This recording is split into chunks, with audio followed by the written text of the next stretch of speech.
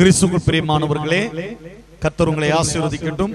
மறுபடியும் YouTube channel மூலமாக நான் உங்களிடத்தில் கத்தருடைய வார்த்தை பகிர்ந்து கொள்வதிலே மிக மகிழ்ச்சி அடைகிறேன். இந்த வார்த்தையை கவனிக்கிற உங்கள் அனைவரையும் கத்தர் ஆசீர்வதிப்பாராக. கத்தருடைய நாம மகிமைப்படட்டும்.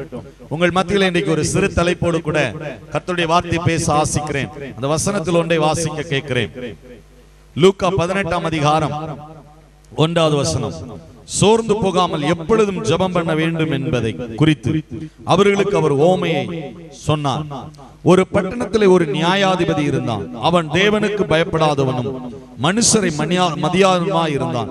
அந்த பட்டணத்திலே ஒரு விதவை இருந்தாள். நியாயம் செய்வார் என்று உங்களுக்கு சொல்லுகிறேன். அன்பானவர்களே இதிலே நான் வாசித்தோமே. எப்படி ஒரு மனிதன் ஜெபம் செய்ய வேண்டும்? இங்கே அழகாக அருமையாக தேவனுக்கு பயப்படாதவனும் தேவனை மன்- மதியாதவனுமாயிருந்த ஒரு நியாயாதிபதி இருந்தான். அந்த நியாயாதிபதியின் இடத்தில் அந்த பகுதியில் இருந்த ஒரு ஏழை ஆமேன் ஒரு விதவை போய் அடிக்கடி என் விஷயத்திற்கும் என் எதிராளியின் விஷயத்திற்கும் நீங்கள் வந்து நியாயம் செய்ய வேண்டும் என்று அவள் போய் அந்த நியாயாதிபதி இடத்தில் அடிக்கடி போய் கேட்டுக்கொண்டாள். ஆனாலும் அந்த நியாயாதிபதி சத்தம் கொடுத்ததாக இல்லை. இவள் மீண்டும் மீண்டும் போய் அந்த நியாயாதிபதியை தொந்தரவு கொடுக்கிறார். ஐயா நான் எவ்வளோ நாட்கள் காலையில வந்திருக்கிறேன் மாலை வந்திருக்கிறேன் அடிக்கடி நான் உண்மை வருகிறேன் என்று இவள் அவரை தொந்தரவு பண்ண தொடங்கினார் ஆனால் கத்தரை மதியாதவனும் கத்தருக்கு பயப்படாதவனுமா இருந்த அந்த நியாயாதிபதி ஒரு நாள் அவர் யோசிக்கிறாரு நான் இவ்வளவு பொல்லாத மனுஷனா இருந்தோம். இந்த ஸ்திரீ என்னை அடிக்கடி வந்து தொந்தரவு பண்றாளே அப்படி சொல்லிட்டு அவருடைய விஷயத்துல அந்த நியாயாதி நியாயாதிபதி நியாயம் செய்ய ஆரம்பித்தார். என் அன்பு சகோதரர்களே இந்த சத்தத்தை கேட்கிற நாம் அநேக முறை நாம் ஜபித்திருக்கிறோம். கண்ணீரோடு ஜபித்திருக்கிறோம். பல இடங்கள்ல பலரிடத்துல விண்ணப்ப ஜபங்களை ஆமை அனுப்பி கொடுத்திருக்கிறோம். என்னுடைய விஷயத்திற்கு நியாயம் கிடைக்கணும். என்னுடைய விஷயத்துல ஒரு விடுதலை வரணும். ஒரு நியாயம் எனக்கு செய்யணும் அப்படின்னு நம்ம பல நேரம் ஜோம் பண்ணி இருக்கிறோம் ஆனா பல நேரம் நமக்கு பதில் வரல. பதில் வரல. அப்படின்னா நம்ம என்ன செய்கிறோம்? விட்டுறோம். அநேகர் ஜெபத்தை விட்டுறாங்க. இவ்வளவு நேரம் நான் கூப்பிட்டு பார்த்தாச்சு. இவ்வளவு நேரம் நான் ஜெபம் பண்ணி பார்த்தாச்சு. எனக்கு பதில் வரல. அப்படின்னு சிலர் என்ன செய்கிறாங்கன்னா அவங்க விட்டுறாங்க. என் அன்புக்குரியவர்களே இப்போ நீங்க தான் ஃபெயில் ஆகுறீங்களே தவிர தேவ சமூகத்துல தோல்வி வரல. ஏன்னா இப்போ இந்த விதவையானவள் அந்த சொத்திரம் நியாயாதிபதியிடத்துல நியாயம் கேட்க போன உடனே இவளுக்கு அவர் நியாயம் செய்யல. இவ தொந்தரவு கொடுக்க ஆரம்பித்தாள் மீண்டும் மீண்டும் தொந்தரவு பண்ணா மீண்டும் மீண்டும் அந்த நியாயம் கிடைக்கிறதுக்கு போராடினாள் நம்முடைய வாழ்க்கையில கூட அன்பானவர்களே நாம் போராட வேண்டும். நாம் ஜெபத்துல போராட வேண்டும். நாம் கண்டிப்பாக சமயம் எடுத்து ஜெபிக்க வேண்டும். காத்திருந்து ஜெபிக்க வேண்டும். வேலை வரும் வரையிலும் ஜெபிக்க வேண்டும். வாசல் திறக்கப்படும் வரையிலும் ஜெபிக்க வேண்டும். பொறுமையாக ஜெபிக்க வேண்டும். கர்த்தருடைய சமூகத்தில் அப்படி ஜெபித்து பார்ப்போமானால் நிச்சயமாகவே ஒரு பதிலை கர்த்தர் நமக்கு கொண்டு வருவார். இன்றைக்கு நிறைய நேரம் நம்முடைய ஜெபத்திற்கு நம்ம பதில் கிடைக்கலன்னு சொன்ன என்ன செய்கிறோம்? விட்டுறோம். பைபிள் வாசிக்கிறத விடுறோம். ஜெபத்தை விடுறோம். உபவாசம் இருக்கிறத விடுறோம். ஸ்தோத்திர பலி செய்கிறத விட்டுறோம். அதுக்கப்புறமா நம்ம மனம் சோர்ந்து போய் அப்படியே நாம் என்ன செய்கிறோம்? பின்மாற்றத்துக்கு நேராக போகிறோம். இந்த வார்த்தையை கேட்கிற அன்பு சகோதர சகோதரிகளே அப்படி அல்ல. நாம் ஆண்டவரிடத்தில் போராடி செபிக்க வேண்டும். நியாயம் கிடைக்கும் வரையிலும் அந்த விதவை போராடினதை ஆமை நாம் பார்க்கிறோம் அல்லவா? வேதத்துல யாக்கோபு என்று சொல்லுகிற அந்த மனுஷர் ஆமென் பொழுது ஆமென் போய்விட்டது. என்னை விடு என்று தேவதூதன் சொன்ன பொழுது அவர் விடவே இல்லை. அவர் என்ன சொன்னார் தெரியுமா? நமக்கு வாசிக்கிறோமே. ஆமென். அவர் சொல்லி அவர் தேவதூதனோடு கூட பேசுறாரு. அவர் சொல்றாரு நான் உம்மை போக விட மாட்டேன். என்னை ஆசீர்வதித்தால் ஒளிய நான் உம்மை விட மாட்டேன். அப்படின்னு அவர் போராடுறாரு. வேதம் சொல்லுது யாக்கோபை குறித்து மனுஷனோடும் தேவ தேவனோடும் போராடி மேற்கொண்ட மனுஷன். என்று இந்த சத்தத்தை கேட்கிறவர்களே நாம் போராடி செல்லதை வெற்றி பெற வேண்டும். ஆமே நாம் காத்திருந்து செல்லலை வெற்றியை பெற்றுக்கொள்ள வேண்டும். அதற்காக பொறுமையோடு காத்திருக்கணும். கத்தர் எனக்கு விடுதலை தருவார். எனக்கு வெற்றியை தருவார். என்னுடைய ஜெபத்திற்கு பதிலை தருவார். நான் ஆமேன். இன்னும் கொஞ்ச நேரம் காத்திருந்து ஜெபிப்பேன். இன்னும் கொஞ்ச நேரம் தேவ சமூகத்தில் உட்கார்ந்து ஜெபம் செய்வேன் என்று நீங்கள் பொறுமையோடு காத்திருந்து ஜெபித்து பாருங்கள். வெற்றி நிச்சயம். அன்பானவர்களே அநேகர் ஜெபம் ஜெபம் பண்றாங்க. அநேகர் ஜெபிக்கிறாங்க. ஆனா சோர்ந்து போகிறாங்க. சோர்ந்து போகிறாங்க. இயேசு கிறிஸ்து அவன் ஜெபம் பண்ணும்படி போனார். ஜெபம் பண்ணும் பொழுது தேவத்து அவன் சீசர்களை பார்த்து சொன்னாரு. ஐயா சோதனைக்காரன் வரப்போகிறான். விழித்திருந்து ஜெபம் பண்ணுங்க. மனுஷகுமாரன் கல்லர் கையில கொடுக்கிற நேரம் வந்துட்டு விழித்திருந்து ஜெபம் பண்ணுங்க அப்படின்னு. ஆனா பைபிள் நல்லா சொல்லுது. அவங்க நித்திரை மயக்கத்துல இருந்தாங்க. அவங்களால ஜெபம் பண்ண முடியல. அவங்களால ஜெபிக்க முடியல. இயேசு நல்லா சொன்னாரு. ஜோமனுங்க சோதனைக்காரன் வருகிறான். உபத்திரம் வரப்போகுது. மனுஷகுமாரன் கல்லர் கையில ஆமேன் அகப்படுகிற நேரம் வரப்போகுது.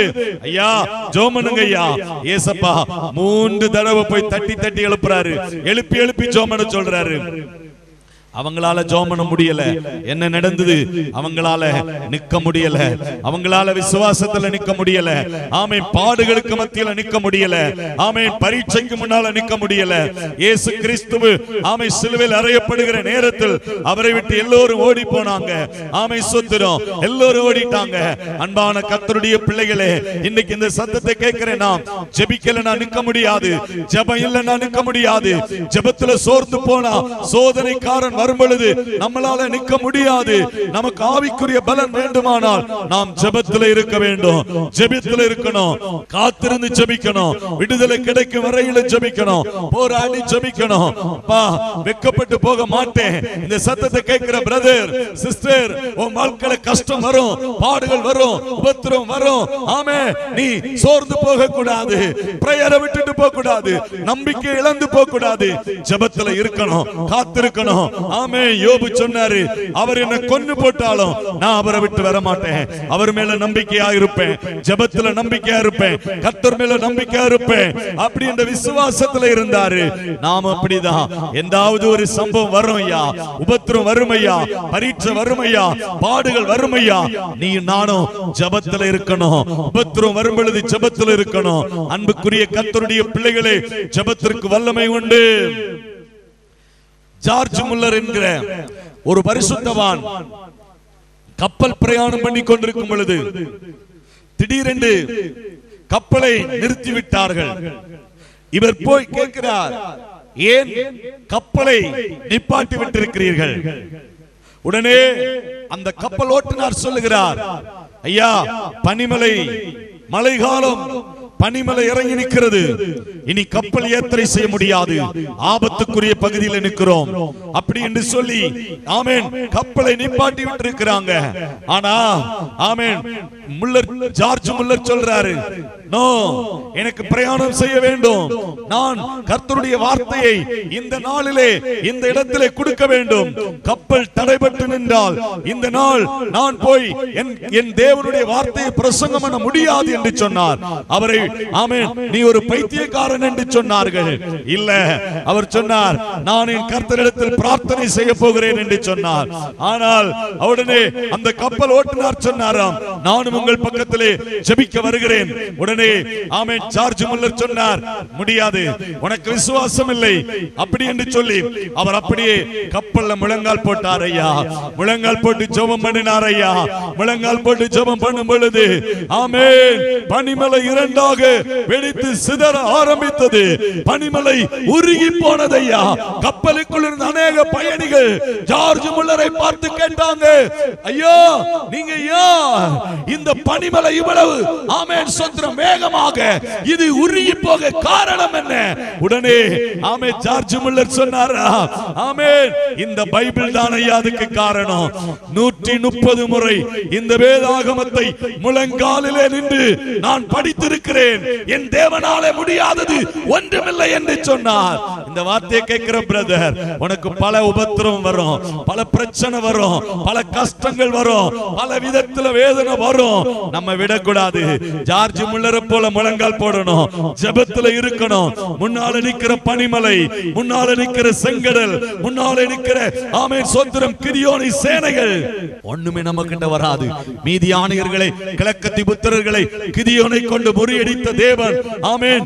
கிதியோனின் பட்டயம் கர்த்தருடைய பட்டயம் என்று ஆர்ப்பரித்தது போல நாம் முழங்காலில் நிற்போமானால் நாம் ஜெபத்தில் இருப்போமானால் எந்த பெரிய பிரச்சனையும் ஆமே நம்முடைய ஜபத்திற்கு முன்பாக ஒன்றுமில்லாமல் போகும்.